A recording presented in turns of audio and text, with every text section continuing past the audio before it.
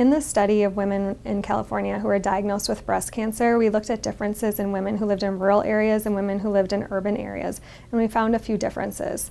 First, the women who lived in rural areas were less likely to be treated at a Commission on Cancer hospital. They were about half as likely as those who lived in urban areas. And those hospitals are considered high quality hospitals for cancer care.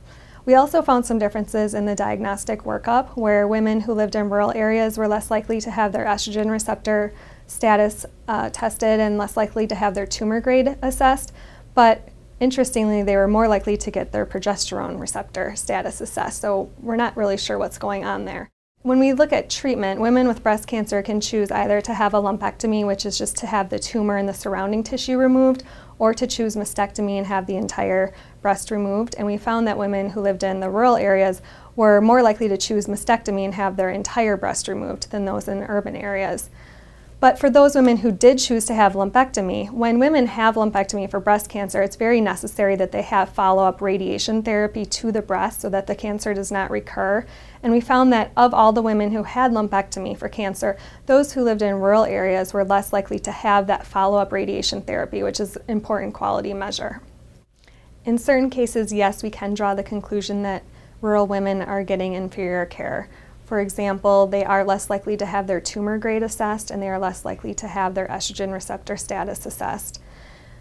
The choice of surgery for lumpectomy versus mastectomy is more of a choice, so we can't say that it's inferior that the women in rural areas were more likely to get mastectomy.